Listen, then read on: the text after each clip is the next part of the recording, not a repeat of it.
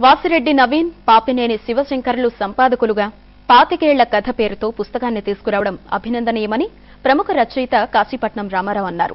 హైదరాబాద్ తెలుగు విశ్వవిద్యాలయంలో మనసు ఫౌండేషన్ ప్రచురించిన పాతికేళ్ళ కథ పుష్కరాన్ని ఆయన ఆవిష్కరించారు.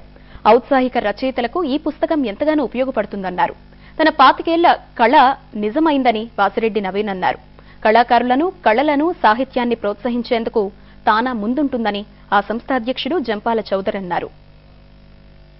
ఒక సంవత్సరంలో వచ్చేటటువంటి మంచి కథలన్నీ ఒక సంకలనంగా తీసుకొచ్చేటటువంటి ఈ ధోరణి తెలుగు సాహిత్యంలో మొట్టమొదటి పంతొమ్మిది వందల అరవై ఎనిమిదిలో అనుకుంటాను బాపు గారు మొదలెట్టారని నా జ్ఞాపకం.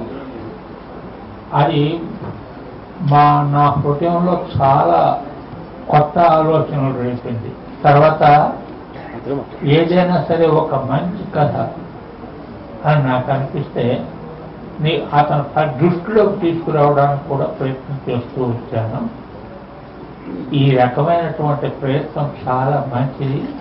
ఆ వివరాలన్నీ మాట్లాడడానికి నాకు ఇప్పుడు జ్ఞాపక శక్తి అడిగిన ఇబ్బందులు ఉన్నాయి కాబట్టి వీలంత క్లుప్తంగా ముగిస్తూ చిన్నతనం నుంచి కూడా నాకు కథలంటే మక్కువ.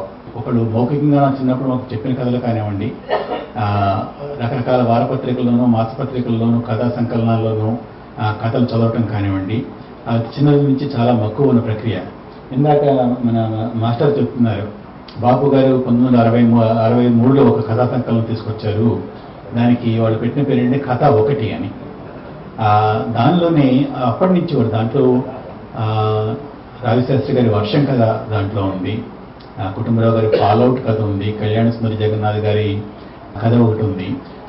ఇట్లాంటి అవన్నీ కూడా ఒకసారి ఒక చోట చదివినప్పుడు ఒకటువంటి ఒక విభ్రాంతి కలుగుతుంది విస్మయం కలుగుతుంది. అభిప్రాయ భేదాలు ఎన్నున్నప్పటికీ సీకే నారాయణ రెడ్డి గారు చైర్పర్సన్ ఆయన. ఆయన తీసుకోదామని నిర్ణయం తీసుకున్నారు. దాన్ని ప్రతిపాదించింది అప్పటి ట్రస్ట్ సభ్యులైన చెగూరు రామారావు గారు. చేకూరు రామారావు గారు సికె నారాయణ రెడ్డి గారు కలిసి దీన్ని హరి గారికి అప్పచెప్తే హరి పురుషోత్తమరావు అనే హరి గారికి అప్పచెప్తే బాగుంటుంది అని నిర్ణయం తీసుకున్నారు.